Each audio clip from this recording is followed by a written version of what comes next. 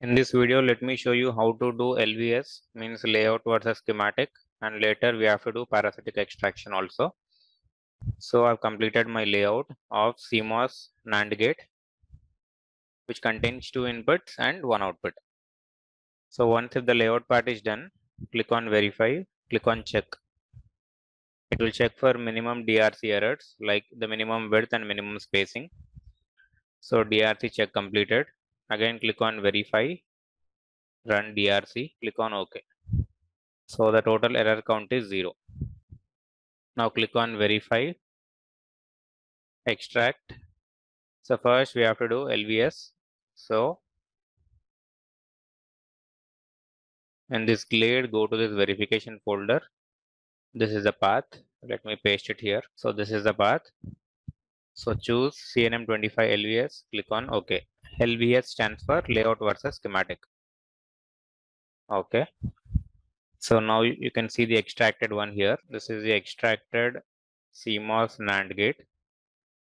So once it is done till here, click on file, export CDL. CDL stands for circuit description language. Export CDL, choose some location so that at this path it will get saved. I have previously generated one, so better I'll try to delete them first. Give some name.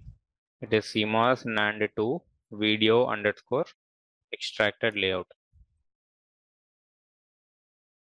CDL. So for extracted layout, this is a CDL. Click on save. Here scale should be meters and add dot end for spice. Here switch list name should be LVS. Okay. So you can observe here at this path, the CDL got created. So let me go to that location. See here. Right click on this, edit with notepad.